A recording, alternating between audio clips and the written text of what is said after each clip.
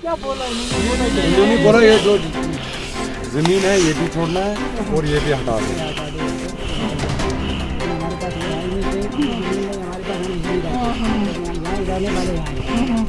कितने सालों से यहाँ हम बचपन से यहाँ रहे बचपन से यहाँ रहे इसको सौ साल हो गया है। हम लोग इससे ऊपर नहीं होगी मगर हमारा जो बाप दादा था वो यहीं पर रहता था। आज सौ साल से बाद हमको बोलता है ये खेती बाड़ी छोड़ो और भाग जाओ।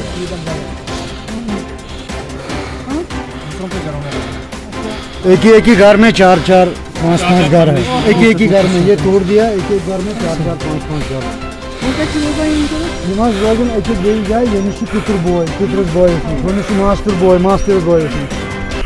हथ वरी हथ वरी तो के बाद जो मरकजी सरकार ने जम्मू कश्मीर में एक नाजायज तरीके से एक कार्रवाई शुरू की है ये उसी कार्रवाई का हिस्सा है जो यहाँ के रहने वाले लोग हैं। जो हमारे नोमैड्स है, गुजर, बकरवाल, जिनके दादा अजदादा यहाँ रहते थे, इनको खदेड़ा जा रहा है।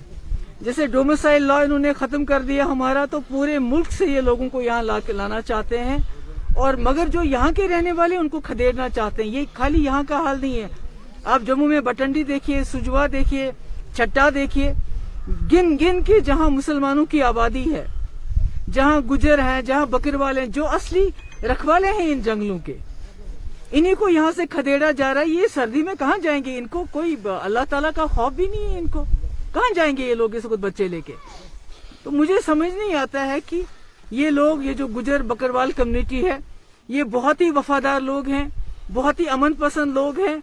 मुझे लगता है इनको जानबूझ के मरकजी सरकार धकेल रही है कि ये इन्होंने आज तक किसी भी तशद में, इन्होंने कभी भी पार्टिसिपेट नहीं किया they have never opted for violence इन्होंने हमेशा अमन को पकड़ा है। They have always opted for peace but I think कि इनको ज़बरदस्ती धकेला जा रहा है कि ये कोई सख्त कदम उठाने के लिए मजबूर ना हो जाएँ।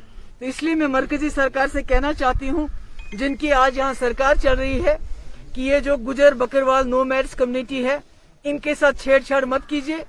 इसके नतज आपको बहुत ही ज़्यादा खतरनाक भुगतने पड़ेंगे। ये इन जंगलों के रखवाले हैं, ये यहाँ इनके जद अजदाद सैकड़ों सालों से यहाँ रह रहे हैं।